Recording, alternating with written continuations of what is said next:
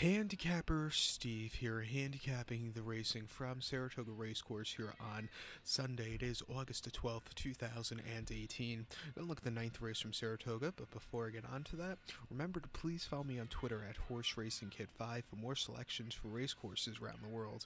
Ninth race from the spa, it's the Waya Stakes, grade 3 purse, $200,000. This race is for fillies, mares, 3 year olds, and upwards. Field of 8 horses going to the post here. The distance of ground of 2,400 meters, if you want to go with that, or the distance of ground of one mile and one half on the inner turf course. 2,400 meters, a mile and a half, inner turf. And I show the diagram, just gives me a second to look down at my notes. Just bear with me. Sorry, I'm stupid. I can't do two things at the same time. Um, this race was originally scheduled for last Saturday, but uh, because the torrential rains they got, um, which is, uh, is, is becoming a pattern at Saratoga, they canceled this race from last Saturday, and they're going to run it today.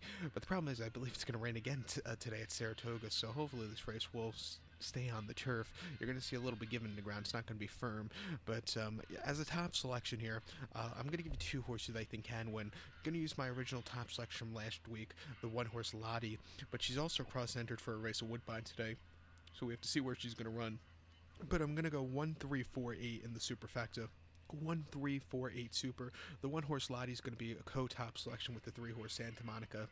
But my top select, my co-top selection, the first horse to talk about is the one horse Lottie, 9 2, five year old mare by Arch. Edgar Prado comes in to ride this one for Graham Motion. This horse's most recent outing came the 5th of May at Belmont. Mile 3 8 inner turf course and the grade 2 Sheepshead Bay. This horse finished second by half lengths. She couldn't catch Holy Helena, who ran a hell of a race there, closing up well. But this horse, you know, ran a decent effort off a little bit of a break. Um, today, the mile and a half should really be to this horse's liking.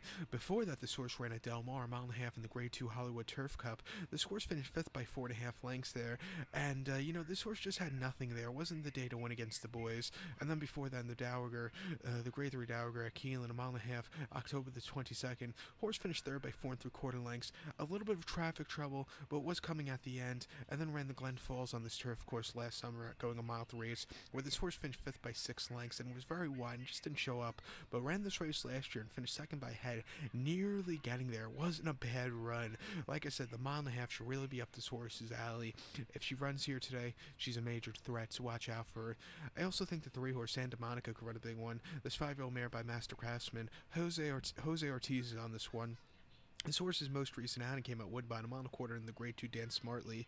This horse won by a half length there. Sat back towards the back of the pack early on, but had a great turn of foot at the end, and he got there. Good race for this horse. Before then, the Grade 2 Sheepshead Bay at Belmont, 3 8 May the 5th. This horse finished third by half length, was coming out the end. Again, wasn't a bad race for this horse. And then first start stateside, first start Lasix at Keeneland, a mile and a half lounge race, $63,000. Horse won by four lengths, sat towards the back of the pack, and then just quickened up nicely to get the victory there at 60 cents a dollar. All around great race.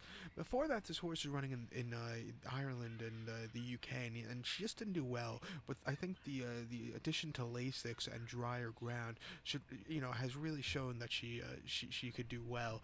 Uh, she's been training well at uh, 8 to 5 ship price, I know, but she'll be used uh, here on a multi-race ticket um, along with the one-horse Lottie if she runs. But to recap my selections now for the ninth from Saratoga, it's the Grade 3 $200,000 Waya Stakes. As a top selection, I'm going to go with the one-horse Lottie and the three-horse Santa Monica.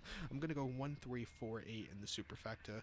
I might just uh, box the uh, 1 3 on top of the uh, the Superfecta, but uh, 1 3 4 8, that's the top four. So good luck to all, and please follow me on Twitter at Horse Racing Kid 5 Good luck, everybody.